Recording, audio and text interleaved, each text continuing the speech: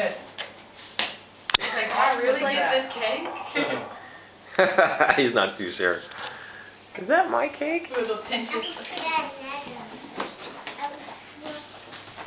You probably shouldn't eat all of that, but Should I just smaller size for her? Oh, there goes the shirt.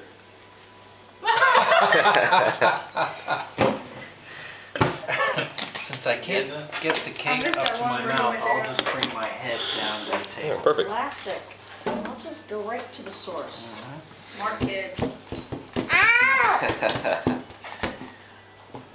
Come give me a fork. This is what I gotta do. You figured out the Kathy, zoom there, you- Joanna?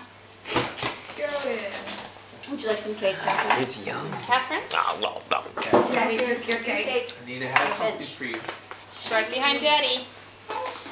Here's some cake. Have a little cake, all right? All There's guys. Daddy's cake. on the face. Please get it on the face.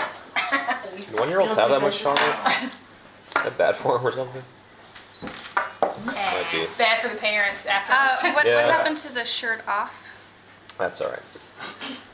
You can clean that up later. We have a laundry. Yeah, exactly. Oh. Wow. Yeah. First birthday cake. Yay. It's good chocolate, huh? That's right. Oh, That's Should I go good. down with it? Can I have that?